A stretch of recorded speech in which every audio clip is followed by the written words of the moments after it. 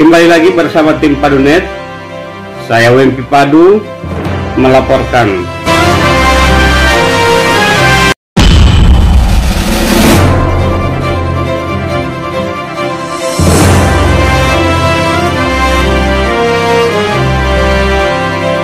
Ini adalah untuk kita agar masyarakat di sini pertama tentram, tidak ada masalah.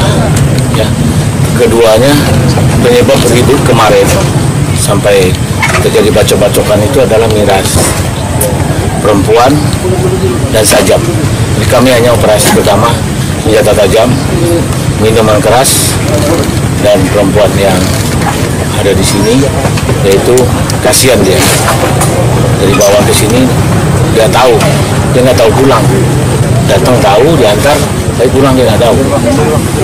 Ternyata di sini dikerjakan seperti yang kita lihat tadi Berarti yang menjadi fokus penertiban kali ini adalah tempat-tempat hiburan, Pak. bukan tempat hiburan semua yang kira-kira membahayakan Akhirnya tadi ada, Pak.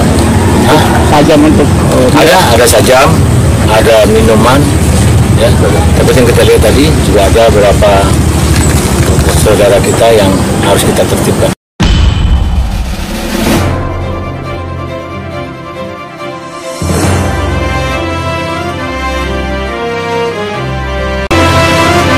Demikian informasi dari Padunet.